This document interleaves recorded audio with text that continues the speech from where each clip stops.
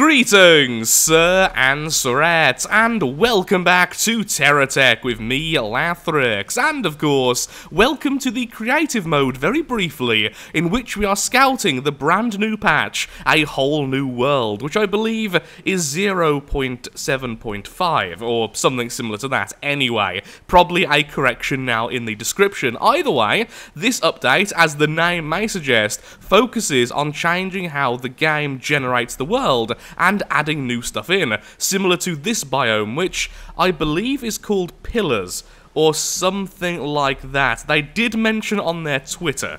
Yes, indeed, this biome is called Pillars, and I have no idea what these lovely things are floating into the sky. I have no idea what a lot of things are, honestly, but it looks amazing. I especially love what I believe are the resource zones. Look at that, these are all the little resource nodes, rather, the little resource rocks, and they look very, very cool. Then there are those little plants on the floor as well, so let's just spawn in our old, there we are, our old harvester, well, our old huge base, and let's have a quick look-see at destroying all these things. Do I get stuff? Yes, I do, so they are indeed resources, and could you please excuse me, little flyer? Okay, very interesting. So, are those lights coming off these plants, or are they coming off just from the ground? There was one there. Let's have a quick look. Uh, could have been. Can't do anything with them. Oh, definitely are. Uh, yeah, I have no idea what their purpose are, but they are very pretty, and I like that. Okay, so let's go back into our main game. Don't worry, our save is absolutely fine. And here we are back in the main game. So today we have one simple goal and that goal is to build ourselves our very first flyer of the season. And this is going to be a Venture Flyer, which uses the Hawkeye missile launcher, so hopefully it can be somewhat agile and able to do hit and run attacks, which honestly should just be a lot of fun. It probably won't be the main tech, the main tech will likely be a tank or something from Hawkeye in the future, but for today, I want to take to the skies. So, I need more wings, I think. Let's have a quick look-see. If we look at Venture, go to Flying, yeah, we have two of those, three of those, then we want. yeah, we need more of pretty much every wing type, so... One more check. So let's add one more right. No, let's add two right, one left, at least one more middle, and then at least one more tail wing. Which shouldn't take too long anyway. Well, that's cute. Good morning. Trading stations have restocked their blocks and missions, and yes, they have. Whoa, that's a lot of regular blocks, 100 of each. So that's only for the regular GSO blocks, and apparently the tiny little wheels as well. Okay then, that's interesting, question mark. Ooh, I do need two of those still, so thank you very much, and I will grab that as well. Okay, we're going to do something a little bit silly. We're going to very quickly go ahead and build a tiny little flyer just to see how good the missiles actually are when you are airborne. So don't worry, this is going to be quite a rushed build. This isn't going to be the final product by any means. I just want to fire missiles at things. That's all I want to do. I'm a very simple person with simple needs. There we are. That should be enough propulsion at least for now. Now, here's the question. Can I put one of those there? Oh, sadly I can't. Oh well, that doesn't make too much of a difference, since I was just going to do this anyway, if that didn't work. Uh, I could put this on the front instead. This is going to be for the wheels, but I think that should be reasonable enough. Really? I don't have any of the landing wheels left? Okay, let's make some landing wheels. Okay, the front section is now done, so I think I may end up just using something of this size as our final aircraft. I'm not too sure just yet. Either way though, this is still the test craft. I just wanted it a little bit bigger so that we could add some additional missiles. Also, we now have the brackets, which are the best items ever three weapons on the bottom, two on the top, and there we are. I think that's going to be quite a fun placement, if not the best, because it really promotes us kind of dive bombing the enemy, which may end up getting us killed, but that's completely reasonable, at least for me. So, how are we going to do the next part, and most importantly, Do we want a gyroscope? Because I think we do. I really do think we do. Although it will slow down our turning quite significantly, it will mean I will have more time to simply look around, I can be more relaxed, and hopefully get a few better tests with the missiles themselves in their own aerial perspective. So, the next thing is, I would love a radar. That is a rather large enemy off to the side. Let's just ignore that. Apparently the difficulty has, been increased, so we are going to see larger enemies a lot more frequently, which is honestly kind of terrifying considering we are next to a trade station, which does get attacked quite frequently anyway. So, kind of happy, because the difficulty has been it's high enough that you do occasionally die, but it's not so high that you're worried too often. Now, it's going to be a matter of being scared for your life, which is fun in video games. Just look at the Dark Souls franchise. There we are. Am I going a bit too far back here? I think I maybe am. Maybe this should go one forwards. Eh, for now, we'll just leave it. We'll just pretend it isn't anything. Actually, what we'll do, instead of what I was about to do, We'll put you there. You can be the Venture wing, and then we want the wing expander right, wing expander left. Although that does make that incredibly vulnerable. I'd like that to connect there. So, change of plan again. Just to make sure we have more connection points so whole sections don't simply break off during a fight. Not going to be the prettiest plane, but hopefully it will be functional. That's all we need today. Pure functionality. Okay, expander right goes there.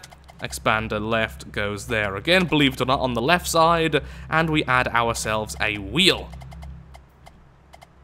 Do not like how that's turned out in the middle. Do not like that at all. It looks both incredibly frail and incredibly chunky at the same time. It's like, not what you would want at all. Excuse me there. No, you're making that right now, aren't you? Um, sure. We'll leave it as it is for now. But I will change it later. Okay, let's just see if this thing flies. Three, two, one, and we have liftoff. That is actually very stable.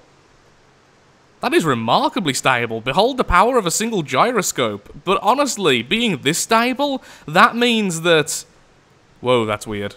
Look at that weird texture there. That looks incredibly odd. Now, what I was going to say was that being this stable with only one gyroscope does mean that the plane itself, though, should also be incredibly stable all by its lonesome. And is that crate just a crate? Okay then, so no trap. That's lovely. I mean, I, I can't really pick anything up, but let's just land. And anything of extreme interest. That's a megaton cannon. Okay, we're taking this home. Well done, Blaine. You've got me some loot. And look, there's an enemy. There you go. Well, we definitely damaged it. Now let's get home and put this in the storage. What on earth was firing at us? Was that little guy firing at us all the way up here? I didn't know guns could aim so high. Did we kill it or just badly hurt it? Just badly hurt it. Yeah, the damage of these missiles is still relatively low in comparison to the Hawkeye stuff, but the fact it's on a movable turret is just so darn good. And there we go, the first enemy, I believe, defeated by our plane. And we have a lovely cannon to show for it. This is stable. So stable it almost caused the game to crash. Is that an enemy or a rock formation? A rock formation, okay good. And let's land again. Oh, this thing is so easy to land. Okay, really happy with that. Behold the power of um, Venture, everything being so light. Let's do some more missile tests, shall we? We need to kill another 25 techs anyway for Tech Hunter Mark 6, so that seems reasonable to me. Okay, here's a mission. We've got hostiles. Let's go and do that and see if we can complete a proper mission using this flyer. Come on, prototype flyer, I believe in you, and off we go, airborne once again. A few enemies on the way. I think I'm just going to let them fight each other. And bombs away! A lot of hits there. Wow, so many shots against us. Thankfully, none of them being able to actually land. Yep, I love the tracking of these missiles, although something is causing those little mini freezes. I've actually restarted the game three times now and checked everything, so... Yeah, it could be the missiles, it could be the missiles in conjunction with flyers, since flyers normally are fairly laggy in this game. Anyway, I don't really know, but that is pretty awful actually, that is pretty bad.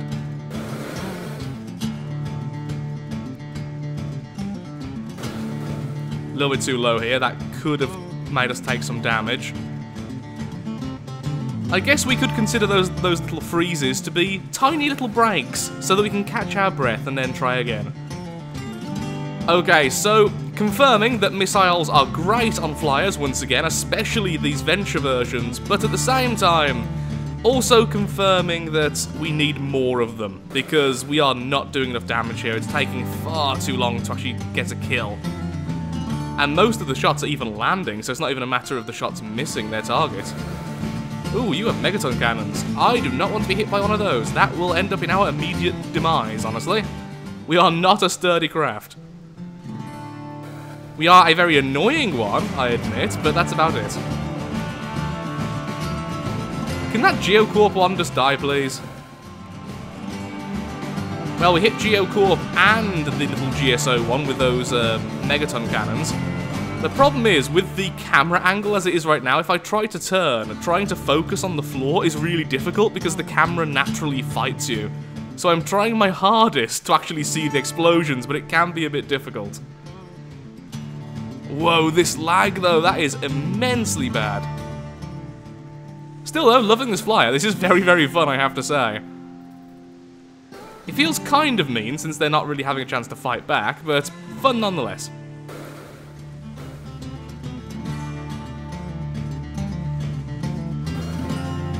I wonder if we could fit one of the little mobile SCUs on this thing. It wouldn't be too difficult, they're not too heavy.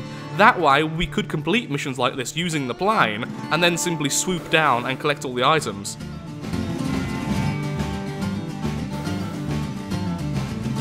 Okay, I do have to admit, although that didn't do all that much damage, that did look awesome, going so low before sending out the complete volley of missiles. Definitely need more though. What I'm considering doing is replacing one of the missiles on the bottom for one of the cruise missiles from Hawkeye. Oh, hello, so apparently a new person is now in the fight, which I believe is going to kill the guy we need to kill, so I'm very happy with that. Thank you for helping out, even if I am shooting missiles apparently at you. Those are missiles of gratitude. I mean, the best way of saying thank you is in missile form. I think everyone can agree. Also, that was a volley of megaton cannons. Okay, so he may have killed the guy helping us. Maybe.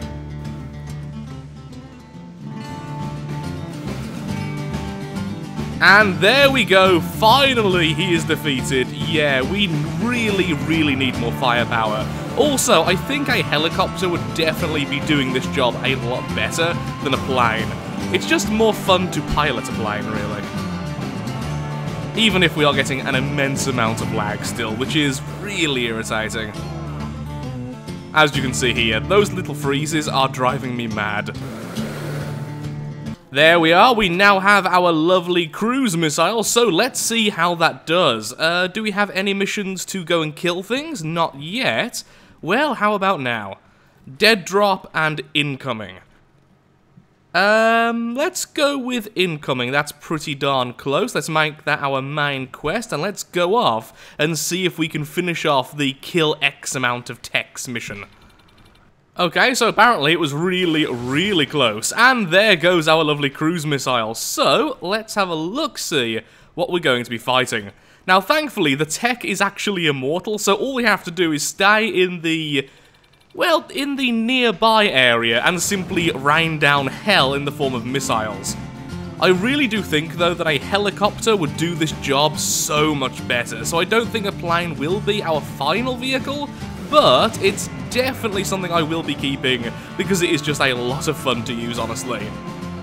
A bit underwhelming in terms of damage, but the fun factor is just too high to leave it alone. There goes the cruise missile. Yeah, the cruise missile, so much more powerful than the Venture missiles.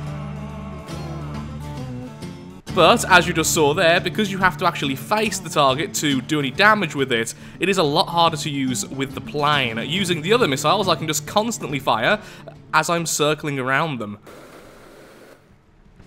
There we go. And once again, I have restarted the game several times, I have changed all of the graphic settings, but it still has these little micro freezes. I really can't tell what's going on, but I will fix it before the next episode, or at least I'll try my darndest to do so. So hopefully this will be the last time we see it.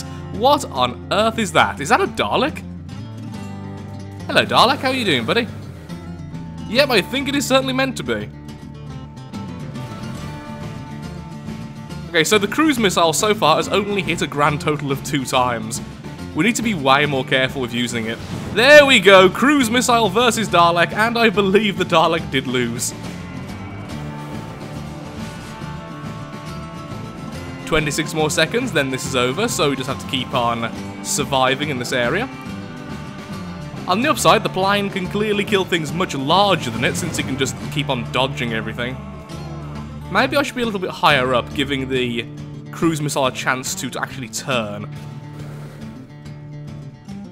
Little Venture. Ah, hello. And goodbye, the cruise missile even went for it.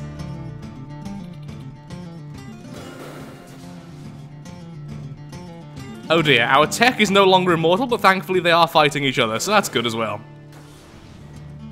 And now we just have to keep on weathering their shields away.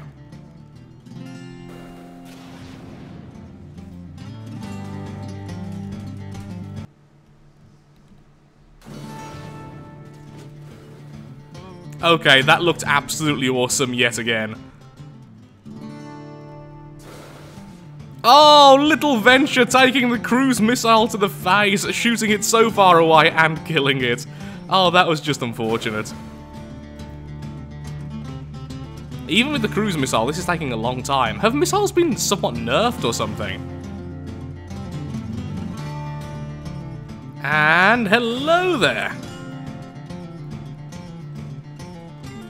And down goes that one from that last missile volley, and now, once again, just attacking shields. May take a while, if I can even be bothered, honestly.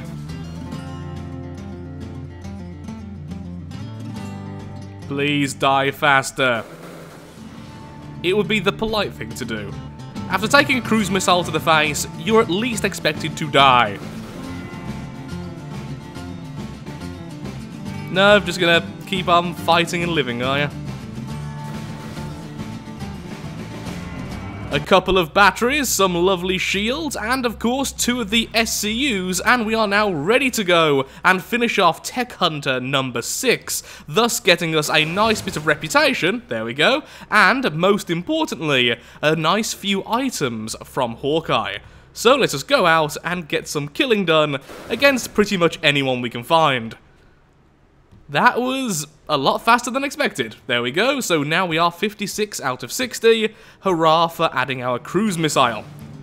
The cruise missile really does add so much more damage. I still think the cruise missiles beat the Venture missiles. The Venture missiles are definitely more fun to use, but in terms of just sheer efficiency, yeah, the cruise missiles are actually kind of ridiculous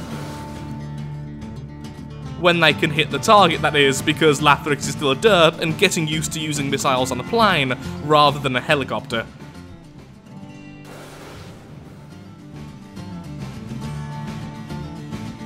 Naturally, I'm also leading this one towards my base because I'm just that much of a derp. Okay, now that was much better. Thankfully, the enemy has completely ran out of weapons, so that's why I'm not shifting over to my normal vehicle in order to simply kill this thing a bit quicker. Just getting in some more practice with the plane. Wow, all of that extra weight from the SCUs is really making turning hard. Yeah, far less agile than it used to be, at least.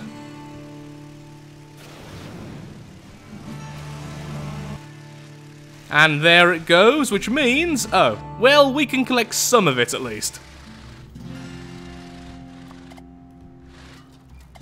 Lovely. Lots of loot for us. In fact, some of it is already being devoured by the base.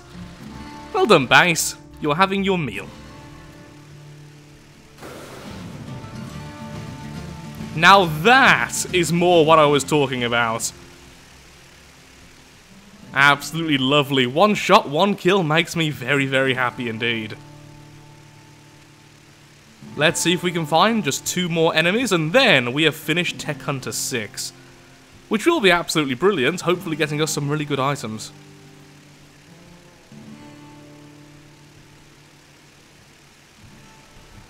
Um, I just made a quick pit stop so that I could refuel my batteries using this mobile furnace generator, and it half anchored to the floor, but then stayed on my vehicle, so now we have this. That's, um, definitely interesting, but let's get rid of that. I'll try to redo that in the future, just out of curiosity. Also, these mountains are looking particularly mountainous. Does this mean that if we go far enough away, the new generation of the world actually kicks in? Does it work on old save files? I'm really hoping it does. I didn't see that in the patch notes, but maybe it was there and I just skim read it. Hello, Invasion. Will you be my final kill? That would be lovely. There we are, and let's see if we can dodge most of those. Seems like we did. A couple of hits on the shield, but nothing else. And my god, look at how many guns he has. Also, what on earth is up with that other robot? Um, hello there, fellow tech. What on earth is going on with you? And thank you for the well-needed distraction. Ignore the fact I'm hurting you. Once again, my missiles seem to really not understand the whole concept of don't shoot those who are helping you.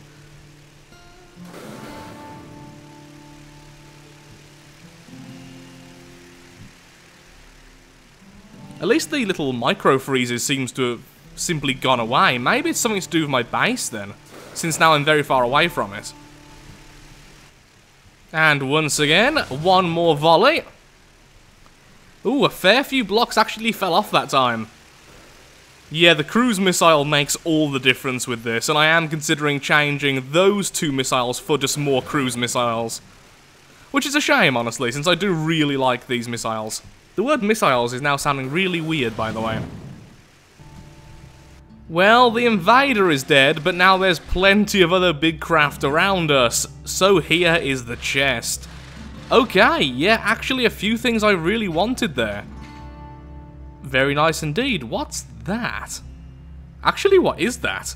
I have no... Oh, it's the laser targeting. Is that actually working yet? It's been in the game for a while, but non-functional. Maybe it is working, maybe it's not, who knows. And a brown cube. Lovely, a flesh tone block, just what I've always wanted. So with that, I'm afraid I am actually all out of time for today's episode. So if you have enjoyed, then of course, likes, favourite, shares, comments, all that good stuff, helps out me, helps out the channel, and most importantly, shows that TerraTech is a series you would like to see continued in the future. In the next episode, we will be making our final flyer, and slash or possibly our final ground vehicle, spending much more time making something which looks a lot more attractive and perhaps is a bit more functional. So, with all of that, thank you so so much for watching, and goodbye.